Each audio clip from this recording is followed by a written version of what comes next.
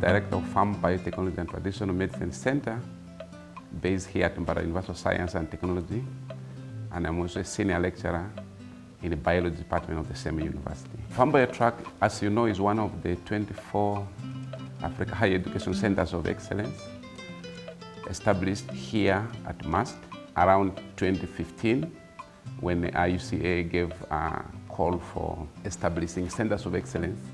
We were requested to participate on behalf of the university, given that we have strength and track record in uh, doing research in this field and also training of graduate students. And so on the basis of this, um, PHARMBIOTRAC um, was established.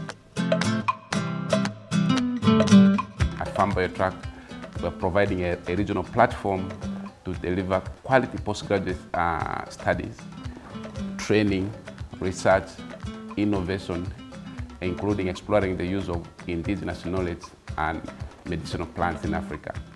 So how it is done here at PHARMBIOTRAC is that we get highly talented research-focused students, not just only in Uganda, but across Africa, to come to PHARMBIOTRAC and we provide them with the necessary support that means uh, tuition and other financial research for research. And also we assemble high quality um, international staff, including uh, staff of MUST, to provide training for these students in the field of um, traditional medicine and pharm-biotechnology. And there are some PHARMBIOTRAC specific disciplines these students uh, uh, enroll on, such as Master of Pharmacy in Clinical Pharmacy, Master of uh, Science in Pharmacology, um, Microbiology, uh, Biology, and, and also Pharmaceutical Analysis.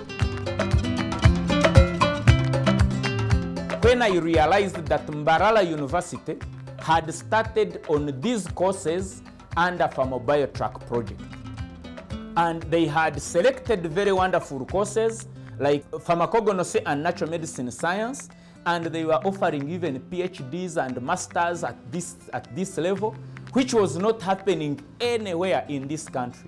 Got assistance from stakeholders, and we developed and implemented the first ever Masters of Clinical Pharmacy program in Uganda, and one of the very few in the East African region. So the field of traditional medicine, natural medicine has not been good, well developed because we do not have scientists who are focused on them. But now we have scientists at masters and PhDs who have interest in the field and they are putting their energy. So in five, ten years time, we're going to begin seeing things coming up. I think COVID is a good example. At PHARMBIOTRAC, we are indeed a model because as you know, quality parameters, uh, this is cutting across whether being um, doing excellent research, um, uh, being the best in the training, and the, the students in your field, um, be it uh, management, administration, financial management, all what you can think of being quality is what we, we, we the center strives to be associated with and that's what we, we live. So we are kind of role model.